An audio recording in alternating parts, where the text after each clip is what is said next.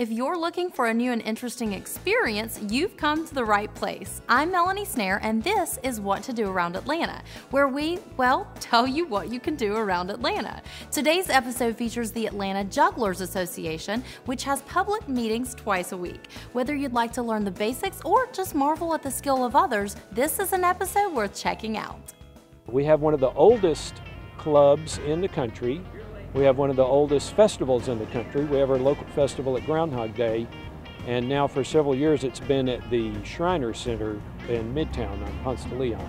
If you think you can't, you're probably wrong. We can teach you. It's a lot of fun. You can probably learn a lot more than you ever think you could. The Atlanta Juggling Association, it's, it's cool. It's very kind of informal. Uh, for me, it's, it's a great place to kind of come and play and work on skills. You never know what you're going to find in our great city, and the Atlanta Jugglers are there to help you break out of your everyday routine.